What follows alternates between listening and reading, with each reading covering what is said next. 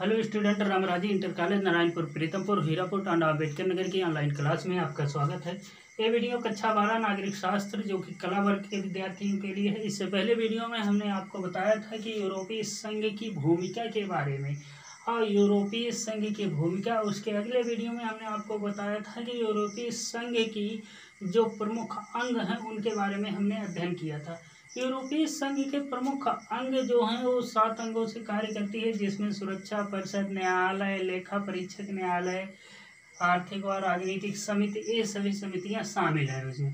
आज हम देखेंगे यूरोपीय संघ की वास्तव में सीमाएँ क्या हैं, यूरोपीय संघ की क्या सीमाएँ हैं, इसके बारे में हम अध्ययन करेंगे। देखिए, यूरोपीय एक अधिराष्ट्र, अधिराष्ट्रीय संगठन, यदि यह एक अधिराष्ट्रीय संगठन है अधिराष्ट्रीय संगठन के रूप में यूरोपीय संघ, आर्थिक, राजनीतिक और सामाजिक, एक अधिराष्ट्रीय संगठन के रूप में यूरोपीय संघ, आर्थिक, राजनीतिक और सामाजिक मामलों में हस्तक्षेप करने में सक्षम है।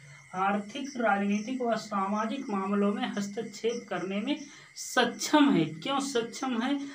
क्योंकि परंतु अनेक मामलों में इसके सभी सदस्य देश, इसके सभी सदस्य देश जो हैं, अपनी विदेशी व रक्षा नीति है। सभी सदस्य देशों की अपनी विदेशी नीति व रक्षा नीति अधिक मामलों में सम्मिलित है। अब हम देखेंगे कि यूरोपीय संघ एक प्रभावी क्षेत्रीय संगठन के रूप में उभरा है।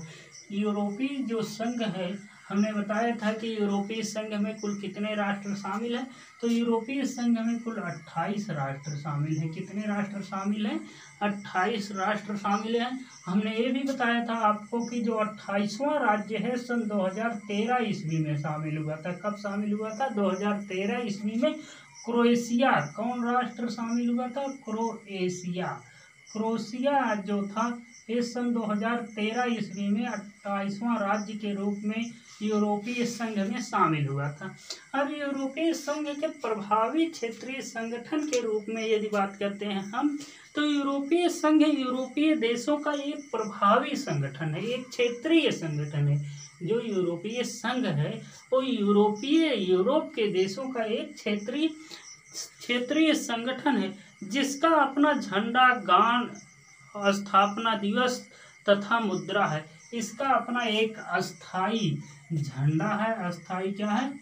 झंडा है, गान है, इसका अपना यूरोपीय संघ में गान है।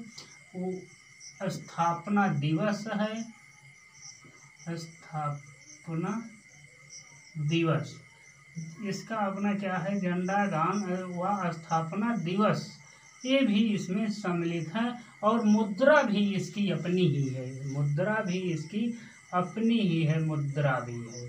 तो इस तरह से कि यूरोपीय संघ, यूरोप के देशों का एक क्षेत्रीय संगठन है और इस यूरोपीय संगठन का झंडा अपना है, गान भी अपना है, स्थापना दिवस भी है और मुद्रा भी इसका एक अपना स्थायी है। और इसमें क्या है कि जो इसे शक्तिशाली स्थिति और यही सब चीज़ें, झंडा, गान, स्थापना दिवस और मुद्रा, यही सब सब चीज़ें इस इसको क्या बनाती हैं? शक्तिशाली बनाती हैं। क्या बनाती हैं? शक्तिशाली बनाती हैं कि इसका अपना अस्थाई अस्थाई मुद्रा भी है, स्थापना दिवस भी है, गान भी है और झंडा भी है। अट्ठाईस राज्य भी इसमें, अट्ठाईस देश भी इसमें शामिल हैं। तो ये यूरोपीय संघ एक बार फिर से देख लेते हैं। यूरोपीय संघ जो है, ये इस एक क्षेत्रीय संगठन है। यूरोप के देशों का एक क्षेत्रीय संगठन है। इसमें कुल 28 राज्य शामिल हैं। इसका अपना स्थायी झंडा है, स्थायी गान है, स्थापना दिवस है और मुद्रा है। और यही सब चीज़ें इसको क्या बनाती हैं? शक्तिशाली बनाती हैं। अब हम देखते हैं कि यूरोपीय संघ को एक प्रभावी क्षेत्रीय संगठन के रूप में देखने के लिए हम निम्न बिंदुओं का अध्ययन करेंगे। निम्न बिंदुओं के आधार पर हम कब बता सकते हैं कि यूरोपीय संघ जो है, एक प्रभावी क्षेत्रीय संगठन है। निम्न बिंदुओं में सबसे पहला है आपका यूरोपीय संघ का आर्थिक प्रभाव, यूरोपीय संघ का आर्थिक प्रभाव। हमने पहले, इससे पहले वीडियो में आपने को बताया था कि यूरोपीय संघ जो है अर्थव्यवस्था में बहुत अधिक अधिक है। इसकी अर्थव्यवस्था क्या है कि बहुत विस्तृत है। यूरोपीय संघ की अर्थव्यवस्था काफ़ी विस्तृत है। और ये भी हमने बताया था कि सन 2005 ईस्वी को, कब? सन 2005 ईस्वी को 2005 ईस्वी को ये यूरोपीय संघ की अर्थव्यवस्था का एक अर्थव्यवस्था का एक संचरण किया गया, ये निकाला गया कि सन 2005 ईस्वी में देखा गया कि इसका जो घरेलू उत्पाद था 2005 में इसका जो घरेलू उत्पाद था, क्या था? घरेलू उत्पाद। इसका जो घरेलू उत्पाद था, घरेलू उत्पाद बारह हज़ार डॉलर से अधिक था, बारह हज़ार डॉलर था। यानी कि बारह हज़ार डॉलर से इसका घरेलू उत्पाद बारह हज़ार डॉलर के से भी ज़्यादा था, जो अमेरिका से भी ज़्यादा था। किससे भी ज़्यादा था? जो अमेरिका से भी ज़्यादा था। और दूसरी चीज़, इसकी मुद्रा यूरोपीय संघ की जो मुद्रा है, वो कौन सी मुद्रा है? यूरो मुद्रा है। जबकि अमेरिका की मुद्रा क्या है?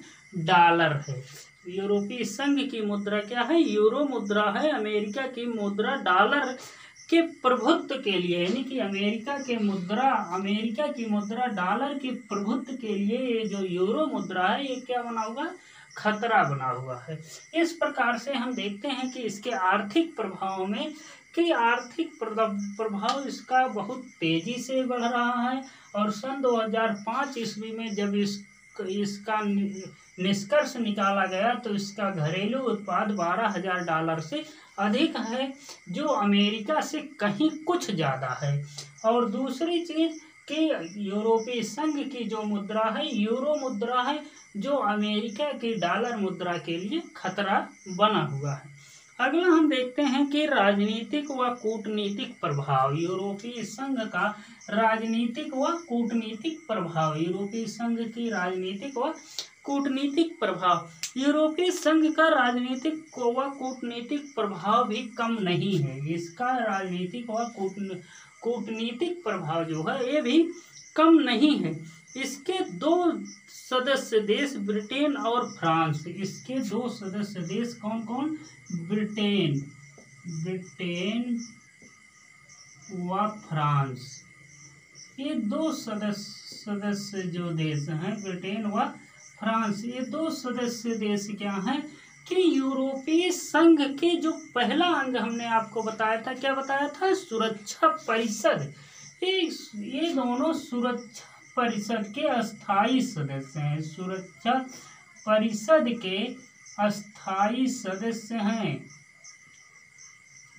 ये दोनों देश ब्रिटेन व फ्रांस की सुरक्षा परिषद के अस्थाई सदस्य हैं। इससे प्रतीत होता है कि यूरोपीय संघ के जो क्षेत्रीय संगठन बना हुआ है, उसमें ब्रिटेन व फ्रांस जो है, यूरोपीय संघ के सुरक्षा परिषद के अस्थाई सदस्य हैं, जिससे प्रतीत क्या होता है कि यूरोपीय संघ के कई और देश के सुरक्षा परिषद के अस्थायी सदस्य भी होंगे। और ये क्या हुआ कि ये इसके राजनीतिक और कूटनीतिक प्रभाव भी काफ़ी तीव्र गति से बढ़ रही है। अगला हम देखते हैं कि यूरोपीय संघ का सैनिक तथा तकनीकी प्रभाव, सैनिक तथा तकनीकी प्रभाव। सैनिक के हिसाब से यदि देखा जाए यूरोपीय संघ को तो सैनिक के हिसाब से यूरोपीय संघ विश्व में दूसरे स्थान पर है। सैनिक के हिसाब से इसके सैनिकों की यदि तुलना की जाए तो अमेरिका के बाद दूसरा स्थान यूरोपीय संघ का है, विश्व में दूसरे स्थान पर है। इसका कुल रक्षा बजट अमेरिका के बाद सबसे अधिक है। यानी कि रक्षा का जो बजट है, जब दूसरे स्थान पर है तो स्वाभाविक बात है कि अमेरिका पहले स्थान पर होगा। और इसका कुल कुल रक्षा बजट भी अमेरिका से कम है, यानी कि दूसरे स्थान पर ही है। अगला, आगे देखते हैं कि इसके दो देशों, ब्रिटेन व फ्रांस के पास परमाणु हथियार है और अनुमान है कि जो जोखिम, जो इसके दो देशों के पास, ऐसा अनुमान लगाया जाता है कि इसके दो देशों के पास, फ्रांस व ब्रिटेन के पास परमाणु हथियार भी है, परमाणु हथियार भी है, जो लगभग 550 परमाणु हथियार है। कितना? 500 लगभग की बात किया जा रहा है। एग्जैक्ट नहीं है, जो लगभग 550 परमाणु हथियार है। अंतरिक्ष विज्ञान और संचार प्रौद्योगिकी के मामले में यूरोपीय संघ भी यानी अंतरिक्ष विज्ञान व तकनीकी प्रौद्योगिकी के मामले में भी यूरोपीय संघ क्या है? दूसरे स्थान पर है।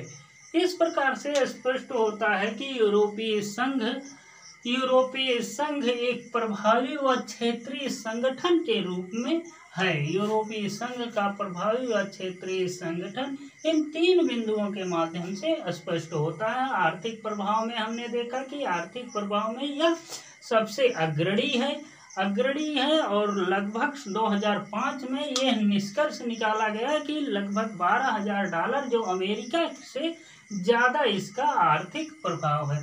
दूसरा राजनीतिक प्रभाव में देखा कि इसमें फ्रांस और ब्रिटेन के अस्थाई सदस्य इसकी सुरक्षा परिषद में सम्मिलित हैं और अन्य देश और कुछ देश इसके अस्थाई सदस्य भी हैं। तीसरा, सैनिक दृष्टि से देखा जाए तो अमेरिका के बाद दूसरे स्थान पर ये सैनिक दृष्टि में और उसका रक्षा बजट भी दूसरे स्थान पर है। तकनीकी प्रभाव में देखा जाए तो इसके पास तकनीकी प्रभाव भी, तकनीकी व अंतरराष्ट्रीय अंतरिक्ष विज्ञान के क्षेत्र में भी यह दूसरे स्थान पर है।